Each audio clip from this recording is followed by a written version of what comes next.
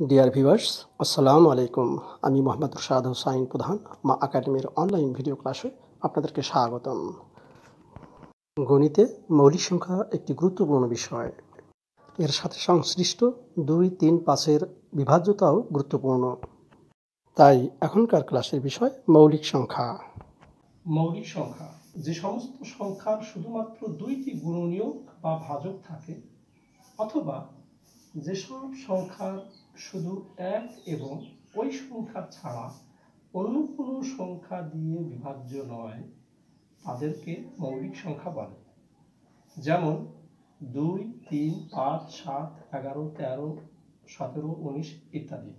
দুইয়ের দুইটি গুণনীয়ক এক এবং দুই। অর্থাৎ দুইকে শুধু এক ও দুই দ্বারাই ভাগ করা যায়, তৃতীয় কোনো সংখ্যা দ্বারা ভাগ করা যায় না। তিনকে শুধু এক এবং তিন দ্বারাই ভাগ করা যায়, অন্য কোনো সংখ্যা দ্বারা ভাগ করা যায় না। কিন্তু এখানে চার লেখা হয়নি, কারণ চারের তিনটি গুণনীয়ক রয়েছে সেটি এক, দুই, চার। অর্থাৎ চারকে এক, দুই এবং চার দ্বারা ভাগ করা যায়। এই জন্য চার মৌলিক সংখ্যা নয়। এক থেকে একশো পর্যন্ত আছে পঁচিশটি মৌলিক সংখ্যা। যার সূত্র হল চার চার, দুই দুই দুই, তিন তিন, দুই দুই, এক। অর্থাৎ এক থেকে দশের মধ্যে আছে চারটি মৌলিক সংখ্যা, দশ থেকে বিশের মধ্যে আছে চারটি মৌলিক সংখ্যা এবং নব্বই থেকে একশোর মধ্যে একটি। এবারে চতুর্থ শ্রেণির প্রশ্ন এক থেকে একশো পর্যন্ত মৌলিক সংখ্যাগুলো লেখো। এই প্রশ্নটির উত্তর করতে প্রথমে আমরা রাফ হিসাবে এক থেকে একশো পর্যন্ত ডান পাশের সংখ্যাগুলো লিখব। এক, দুই, নয়, দশ। এবং পাশে আরেকটি নোট লিখব, দুই ছাড়া কোনো জোড় সংখ্যাই মৌলিক সংখ্যা নয়। তিন অথবা পাঁচ অথবা সাত দ্বারা বিভাজ্য সংখ্যাগুলো মৌলিক সংখ্যা নয়।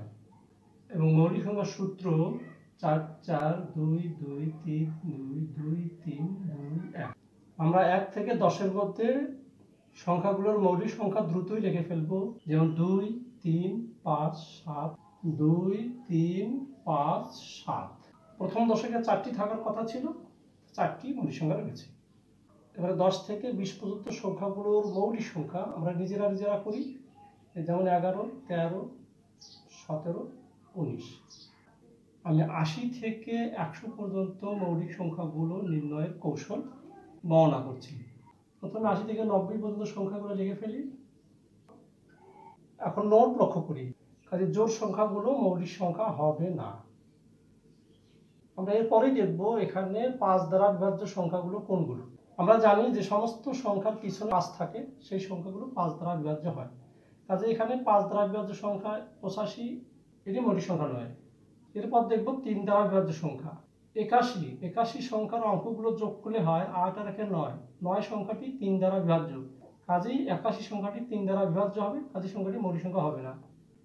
তিরাশি সংখ্যাটি আট আর তিন এগারো, অর্থাৎ তিন দ্বারা বিভাজ্য নয়। তিরাশি সংখ্যাটি সাত দ্বারা বিভাজ্য কি না সাত দ্বারা বিভাজ্য নয়। এই সংখ্যাটি মৌলিক সংখ্যা। সপ্তাশি সংখ্যাটির অঙ্ক দ্বয়ের যোগফল হবে আট আর সাত পনেরো। পনেরো সংখ্যাটি তিন দ্বারা বিভাজ্য কাজেই সংখ্যাটি মৌলিক সংখ্যা হবে না। এবার উননব্বই। নয় আর আট সতেরো, যা তিন দ্বারা বিভাজ্য নয়। সংখ্যাটি সাত দ্বারা বিভাজ্য কি না আমরা একটু সংখ্যাটি সাত দ্বারাও বিভাজ্য নয়। কাজে উননব্বই সংখ্যাটি মৌলিক সংখ্যা। অর্থাৎ আশি থেকে নব্বইয়ের মধ্যে দুইটি মৌলিক সংখ্যা আছে, দুইটি মৌলিক সংখ্যা আমরা এখানে পেয়েছি।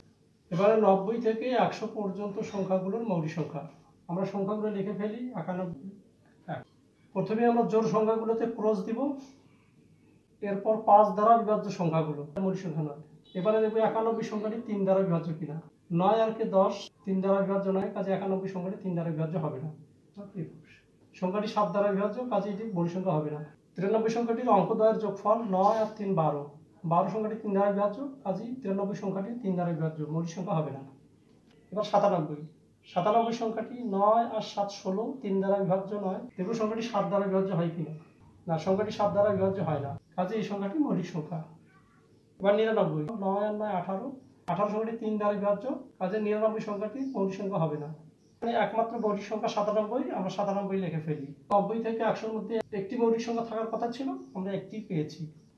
এভাবে এক থেকে একশো পর্যন্ত পাওয়া যাবে মোট পঁচিশটি মৌলিক সংখ্যা। আরও ভিডিও পেতে চ্যানেলটি সাবস্ক্রাইব করুন। ধন্যবাদ।